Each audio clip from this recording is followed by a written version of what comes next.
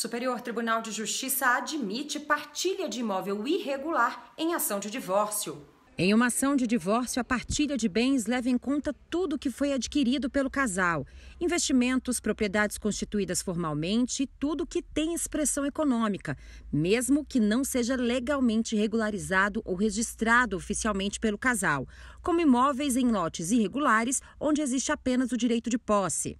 Esse entendimento foi firmado pela terceira turma do STJ ao julgar recurso envolvendo um divórcio litigioso.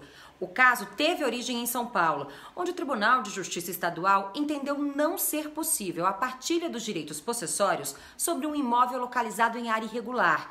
Para o tribunal, só após a regularização do bem, a sobrepartilha poderia ser requerida. No STJ, a relatora do recurso especial, ministra Nancy Andrighi, lembrou que a partilha do patrimônio está normalmente associada à ideia de divisão final na solução quanto à titularidade dos bens. Durante o voto, ela esclareceu que nos casos em que a falta de regularização do imóvel não é por má fé ou desinteresse das partes, mas por outras razões, como a incapacidade do poder público de promover a formalização da propriedade, os titulares dos direitos possessórios devem sim receber a tutela jurisdicional.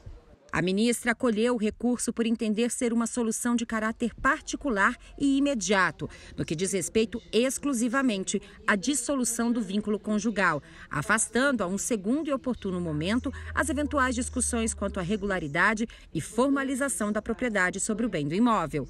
A turma seguiu o voto da relatora.